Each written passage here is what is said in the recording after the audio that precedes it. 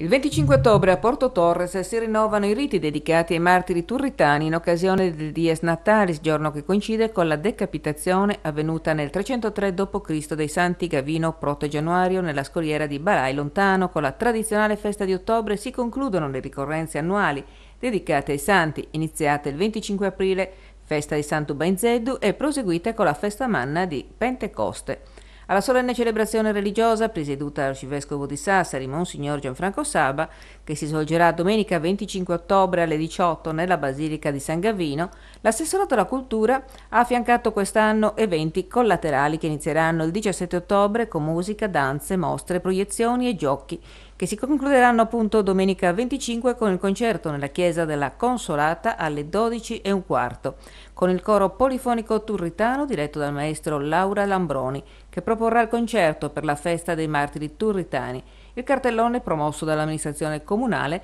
è stato inserito nel progetto della Camera di Commercio di Sassari denominato Salute Trigu.